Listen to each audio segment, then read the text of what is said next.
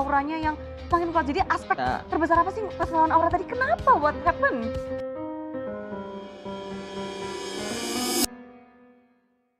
Kewalahan lawan Aura Fire di MPL ini jawaban Araki Skylar. Araki Hoshi harus kewalahan melawan Aura Fire. Sebelumnya di match-match sebelumnya Araki Hoshi menunjukkan performa yang luar biasa bahkan sebelumnya di match lawan Geek Farm bisa mereka tumbangkan dengan cepat. Setelah laga, Skylar diwawancarai di MPL Quickie ditanya mengenai hal tersebut dan inilah jawaban darinya. Acil kurang sehat jadi kayak ya bingung lah.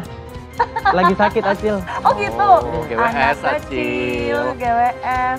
Oke, jadi dari pemilihan-pemilihan hero-nya strateginya kurang matang ketika melawan tim Aura di minggu ini. Oh, Wah, Ya. Skylar ungkapkan bahwa pelatih Acil sedang sakit hingga tidak perform dengan maksimal dan membuat para pemain kebingungan. Walau berhasil menang, Araki harus kecurian poin di game kedua bahkan harus berjibaku sampai menit 27 untuk memenangi laga. Walau tidak ada inhibitor turut, beberapa aksi salah satunya ketika Skylar mendapatkan triple kill membuat Aura Fire gagal menang.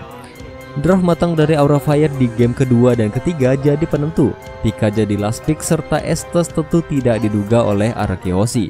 Kaja begitu matang melakukan pick off, begitu pula Estes yang melakukan heal kepada rekan-rekannya. Namun mental kuat tidak mudah goyah membuat Hoshi berhasil bertahan dan comeback dengan luar biasa setelah merebut Lord ketiga. Dengan hasil ini, Hoshi juga naik ke peringkat ketiga menyusul EVOS Legends dan Onyx Esports yang berada di peringkat 1 dan 2.